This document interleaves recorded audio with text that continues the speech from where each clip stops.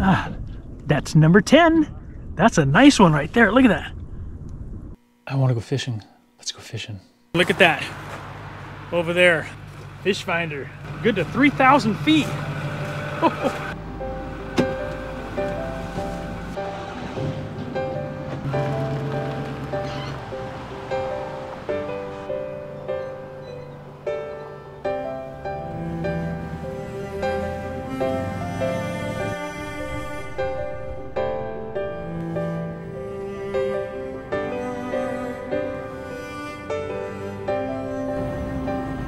Almost there.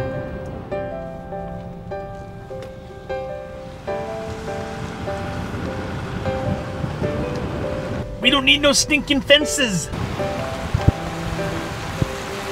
little bit of fog. You look official. I'm with Fish and Wildlife Aquatic Invasive Species. Uh huh.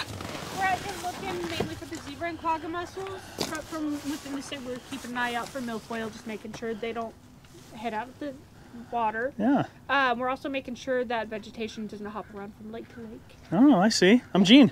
Ashley, very nice to meet you. I'm recording. I see that. That's a clean boat. It is. Well, I just got here. Hey, yeah, there you go. How you doing today? Good. I'm Gene. Gene Corey. Nice to meet Corey, you. pleasure to meet you. Yeah, we're uh, making sure the watercraft are coming and going or vegetation free, and so that way they can't be Yeah. brought to another body of Oh, water. of course. and, Of you know, course. Drowned out the local vegetation. and All right. whatnot. Is that all you guys are checking for today? That's all we're checking Oh, for. I actually had two questions for you, if that's okay. Sure. I was wondering the last body of water your boat was in. This one. This one. About how long ago was that? Three days ago. Three days. Awesome. uh, we haven't seen much vegetation coming out of here, thank the heavens. Yeah. No, it's been really clean. Yeah. So that's what we're looking for. So all the boats look good. The trailers look good so far. Yeah. Yeah. Everybody That's out here, it's such a clean. It's a clean lake. It is really. Yeah, this is this is only my what third time I've ever been. here. I just moved from uh, Eastern Washington to this side. Oh, how about that? and uh, so I'm getting to learn all the new bodies of water over on this Right. side, this place. Well, I would This imagine pretty that I would imagine the temperature has something to do with that. Oh, I'm sure. Oh yeah. Warmer water over there, more you know, invasive species. Oh yeah. The warmer the water, the faster they grow. The colder the water, the more they tend to die Sure, back a little bit. sure. Uh, even if they're displaced from boats or from swimmers, for that matter, sure. Uh, they won't technically regrow terribly fast until the summer hits. Right. Yeah. Yeah.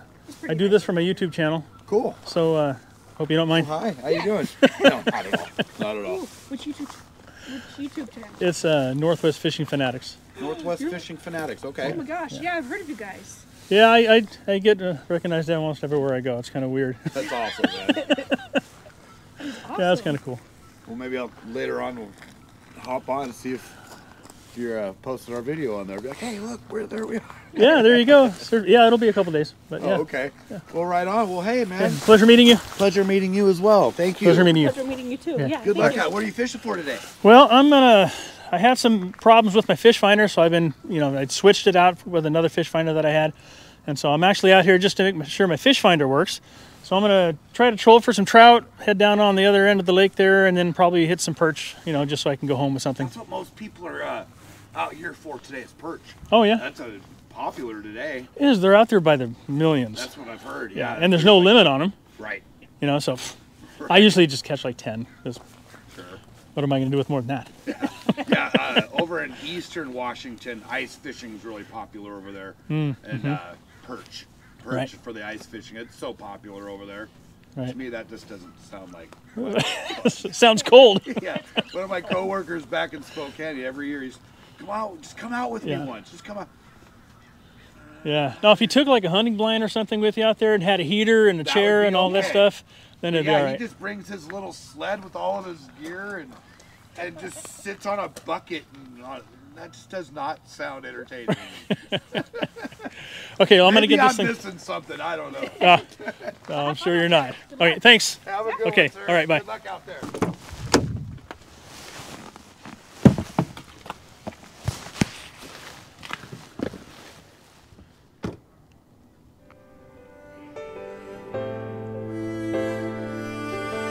Let's get this thing launched.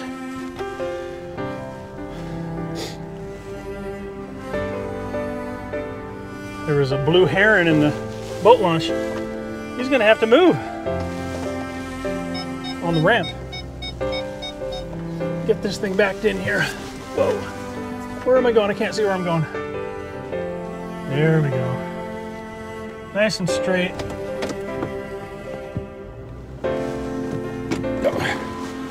Super, super nice launch.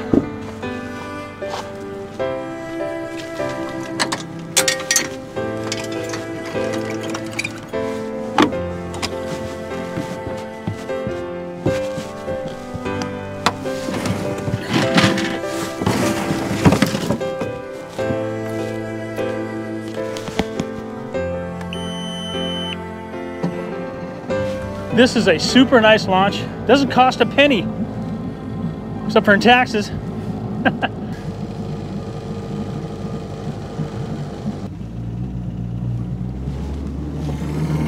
Get a little weight in the back.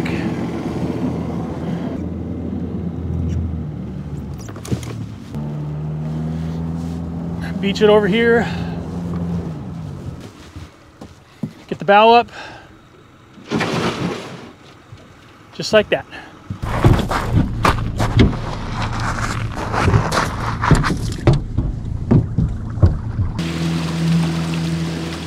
Back here on American Lake, and my fish finder is now working. There were some fish right here. I'm trying to relocate them. Not relocate them as if, as if move them somewhere else. it's nice, nice to have a working fish finder again. Right over top of a group of fish. There we go. We get him?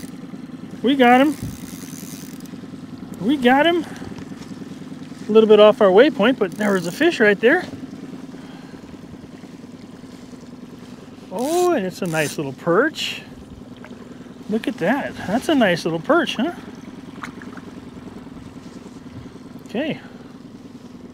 That is a fat perch. Right in the top hook. Come on, open up, open up. Oh yeah, look at that. That is a nice little perch. Didn't have to go very far. That right there is perch number one. As you can see, we are right on top, stop, parked right on top of my waypoint. And those fish are not there now. And I think what we'll do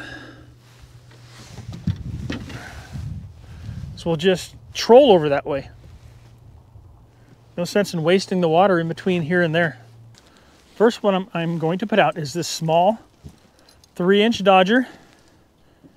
Just small three inch Dodger right here. With a with a small silver Dick Nite. Small silver Dick Nite with a single hook. No trebles. Oh shoot, I just made a mess. Oh my goodness. Look what I just did. Good grief. Man, I gotta clean this up before I plug that in. That'll be in a way. Ah, don't you just hate being clumsy? Well, maybe you're not clumsy, but older I get, the more clumsy I become. And you can tell when I made these downrigger clips, I made them really long. So it's easy. easy to deal with. Send her down. Let's go into stealth mode.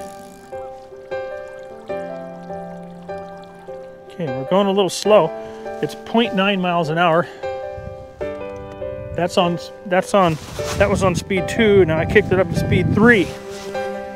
Oh yeah, speed 3 baby. Okay, so we're doing 1.2 now on the number three setting of this Endura C2 50 pound high thrust 12 volt Minn Kota trolling motor. Dang straight. For those of you who don't know, in my spare time I sell real estate. Actually, it's not true. In my spare time I go fishing, but I own a real estate company, Northwest Home Sales. We have 16 brokers that serves the entire Puget Sound area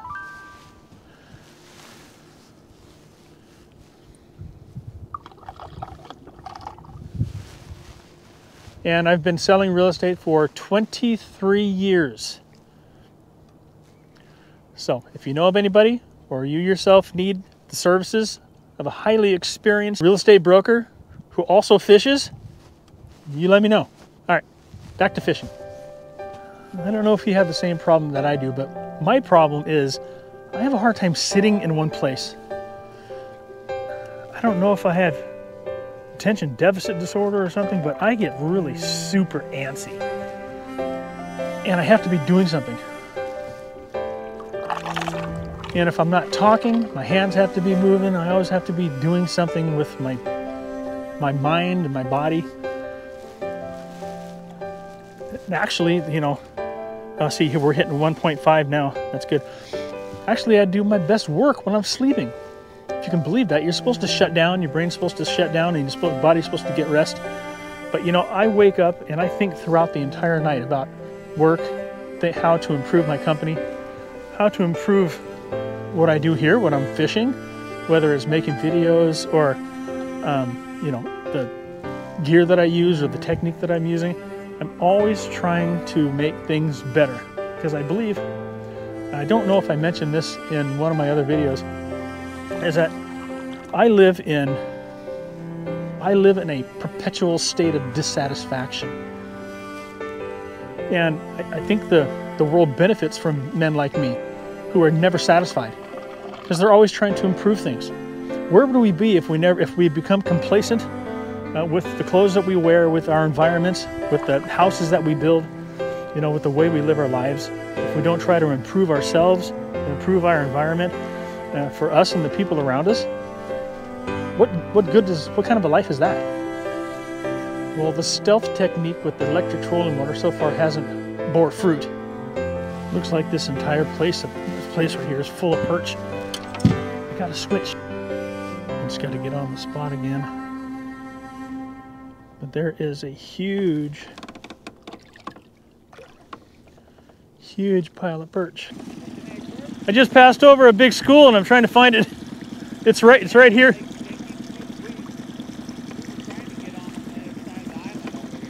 Yeah, they're it's right here somewhere. Yeah, that, well actually they're down on the bottom, about 60. Yep. There we go, got him. Got him. Got him. And there's fish down there too, right there. Okay. Ooh, a bunch of fish. Look at that. Let's go ahead and mark that. Oh, look at that. There's a decent size. There's a perch. Oh, that's a decent sized one too. Compared to the other day. Huh. Well, that's perch number two. Got him. Got him. Right there. Found another pile of perch. There they are, right there on the fish finder.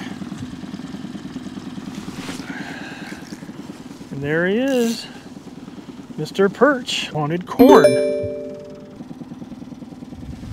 Got him. Got him. There it is. Probably happened anyway. And there is.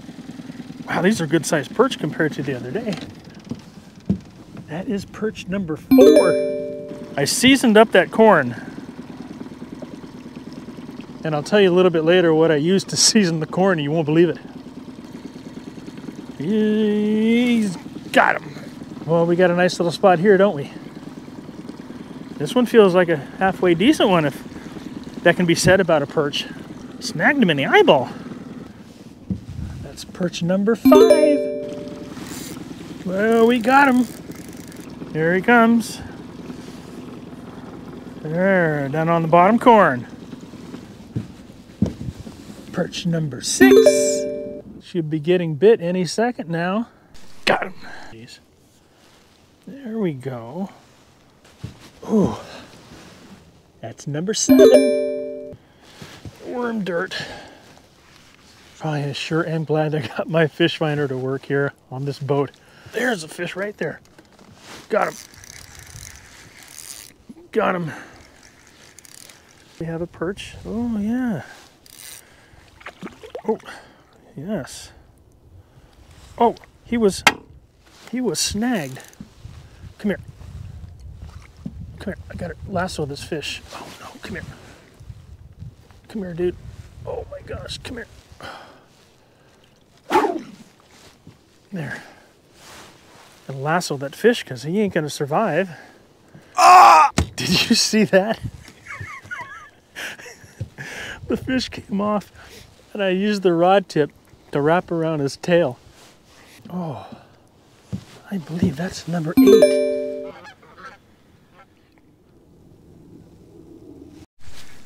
Got him.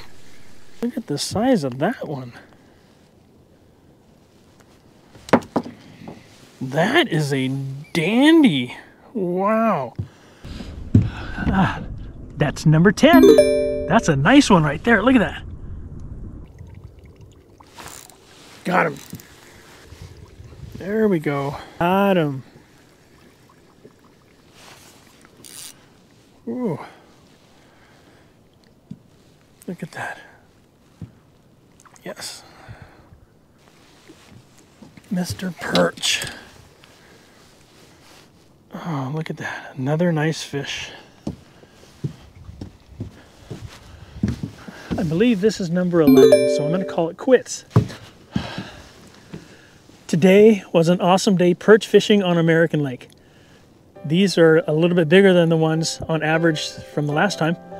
I got my fish finder fixed and I'm able to find these bad boys now with ease. Look at that. I know they're just little fish, you know, easy to catch, but man, they're a lot of fun. They remind me of when I was a kid. I used to fish for these with my dad.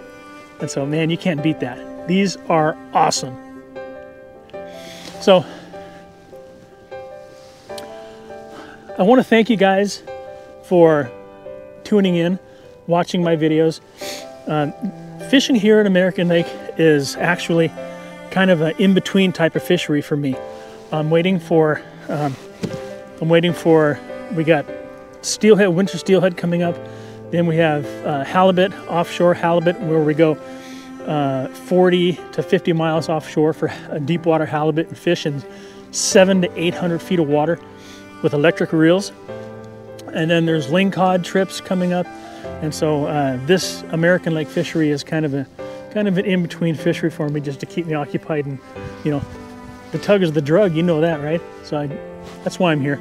And besides it's fun. And these things are easy to catch uh, and they taste really good. Watch that video that i made uh, about the fish fry the last uh, the last video that i made.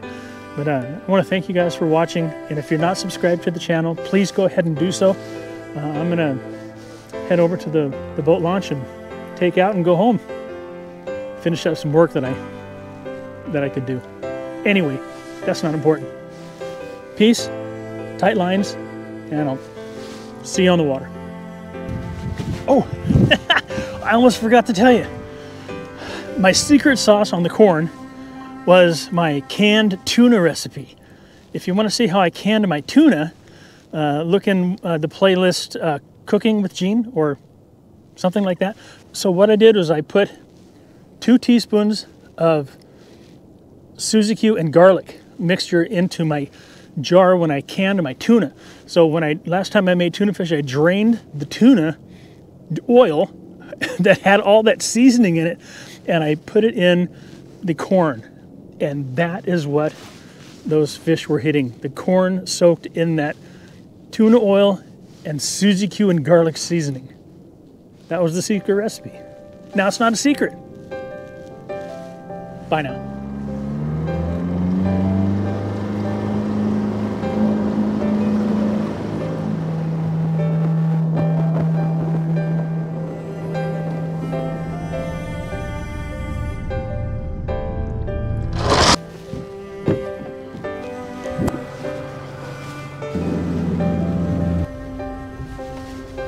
Got to button her down. Button her down and get out of here.